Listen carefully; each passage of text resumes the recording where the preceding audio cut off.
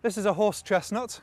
It's another tree that's been introduced to the UK. It was brought over in the 16th century and since then it's become a very popular tree. It gets planted in parks and cities. The Victorians used to have a chestnut Sunday in the middle of May in London where everyone would come out and picnic beneath the horse chestnut trees with these gorgeous candle-like columns of flowers and the deep shade it provides. It's a particularly pleasant tree to sit underneath. There's another reason why we like horse chestnut and that's because of the game of conkers.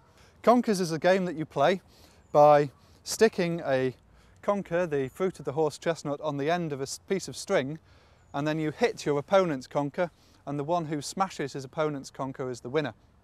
Funnily enough, the game of conkers is much older than horse chestnuts being in the UK. We used to play conkers with different things before horse chestnuts came, like, for example, snail shells and so forth.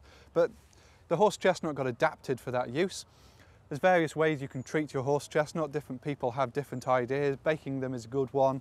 Storing them in vinegar is a good one. But actually, I think the very best way to do a good strong conker is to leave it in a cupboard for a year and then bring it out next year. And those are particularly hard, but make sure you put a hole in it first. We tend to think of conkers as being mostly used by children for playing games, but there are actually several other possible uses for conkers. One thing you'll find is that they're quite good at deterring moths. So if you have a problem with moths in your cupboard, you can split some conkers open and put them in the bottom of the cupboard and it'll keep moths away, so it's said. It is also possible to eat them. If you make flour out of the conkers, you take the shell off it and you grind down the centre, you need to leach it with plenty of hot water first to get the bitter taste out of it. And I'm not saying it makes great flour, but it is possible to make flour out of it. And the other use of horse chestnuts goes back to their origins in Turkey. And it's not just here that we call them horse chestnut. And we don't call it that because it's a bad tasting chestnut either. They call it horse chestnut too, because what they use it for is to make a poultice. They make a mush out of it that they put on injuries for their, from their horses and their cattle.